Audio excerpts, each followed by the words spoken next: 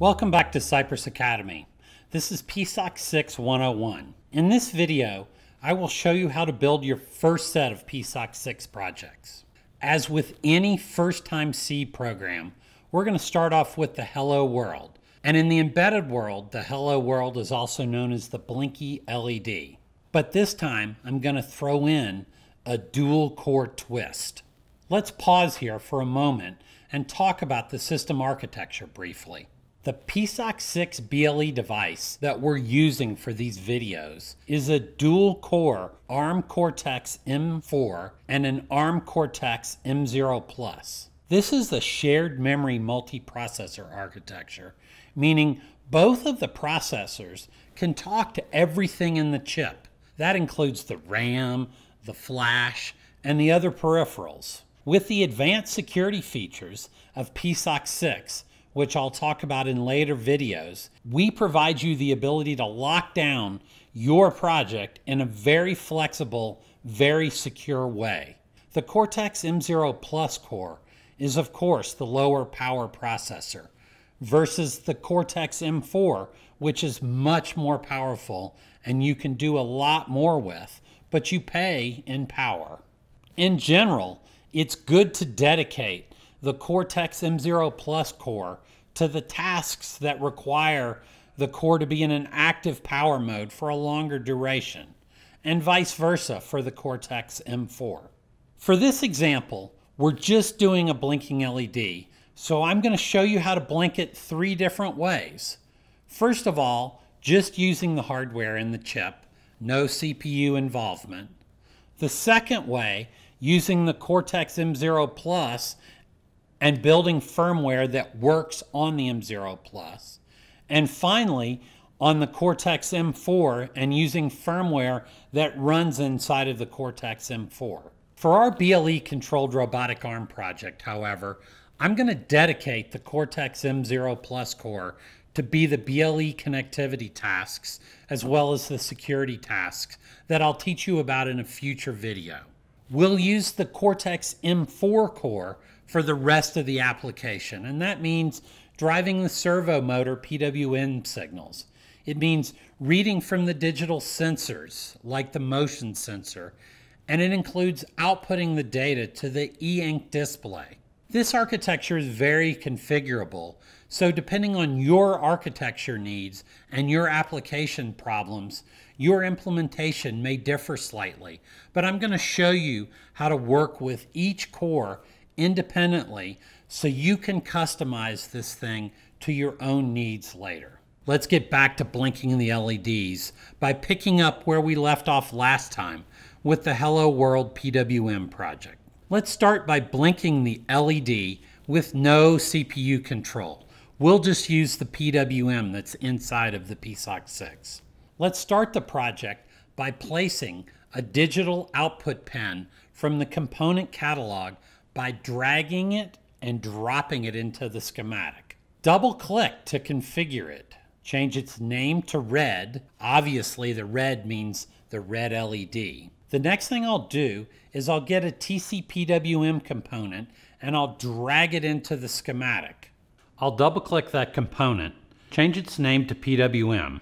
I'll change the period to 999 and the compare to 500 which will give me a 50% duty cycle because the counter will count from 0 to 999. We'll draw a wire from the PWM output to the LED. Now we'll need a clock to drive the PWM component. Grab a clock component from the catalog and drag it into your schematic. Let's double click the clock and change its frequency to 1 kilohertz. Now we need to connect the red LED pin component to the actual pin on the PSOC 6 device. So let's double click the design resources folder, specifically double click the pins.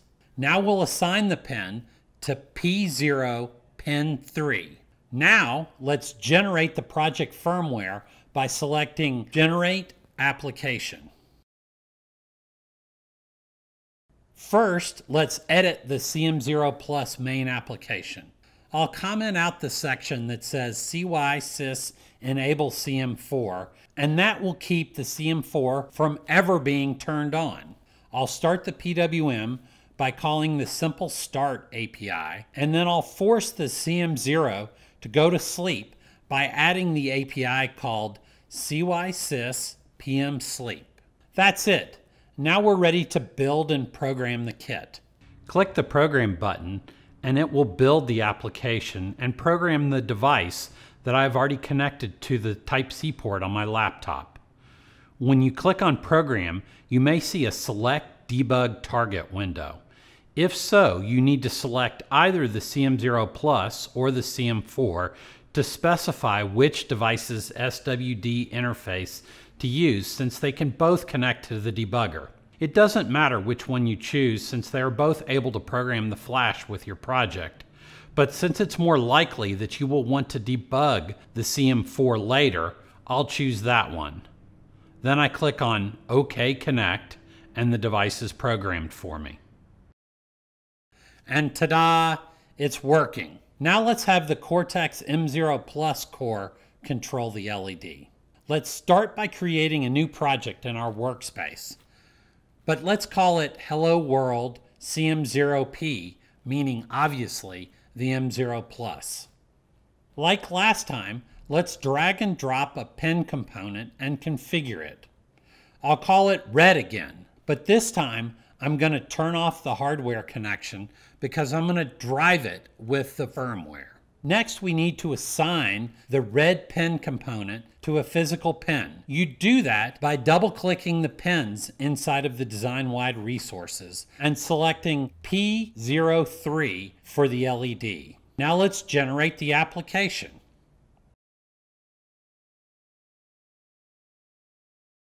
In the main C application file for the CM0 Plus, once again, I'll comment out the CM4 enable line because we don't need the M4 to turn on. I'm going to use the new peripheral driver library to control the state of the pin component. Let me show you an example.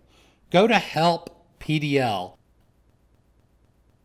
and then under the API reference, under drivers, under GPIO, under functions, under GPIO functions, you'll find all of the different functions that allow you to interact with the pins. The one that I'm going to use is cy underscore GPIO underscore write. Let me show you how you use this.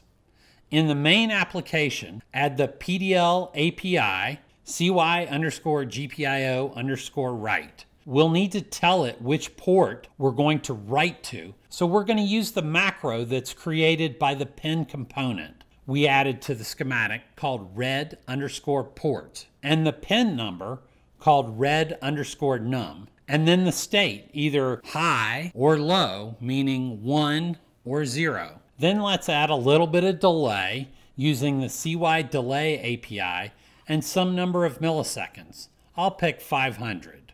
We then need to change the state again, this time to zero. And then we'll add another delay. That's it. Now let's build and program and test the kit. Finally, this time we'll make another project, but this project will run on the Cortex M4 core, and it will control the LED. So instead of making a new project, let's go to the Workspace Explorer and copy and paste the project we just created. I'm going to right click on the project name and select copy, then right click on the workspace name and select paste. Now, let's rename the project by right clicking the project name and selecting rename. Let's call it Hello World CM4. In the CM0 Plus main application file, uncomment the Enable CM4 line, so this will turn on the M4 when the chip boots. Now let's select and cut the code that we had originally in the CM0 file, and then we'll paste it into the CM4's main application file. That's it.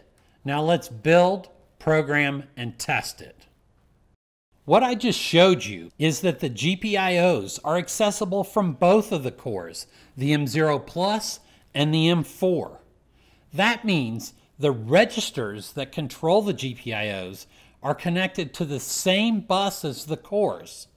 This means, as an application builder, you have the flexibility to partition your firmware into which core best meets your needs. If you've ever used a PSOC 4 before, you'll remember that we create a custom set of customized APIs for each instance of a component meaning that if you have multiple instances, you may have multiple sets of the same firmware and APIs in your code. We've moved to a more standard model with PSOC 6, such that we have a driver that works with each type of peripheral, and you specify which instance of the peripheral you want to talk to in the API call. That is our new peripheral driver library, or PDL for short.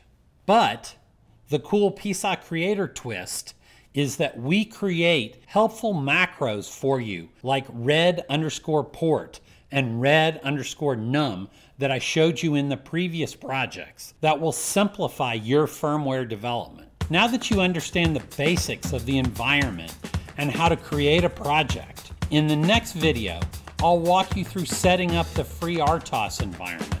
You can post your comments and questions in our PSOC 6 developers community. Or, as always, you're welcome to email me at alan underscore hawse at cypress.com or tweet me at AskIoTExpert. Thank you.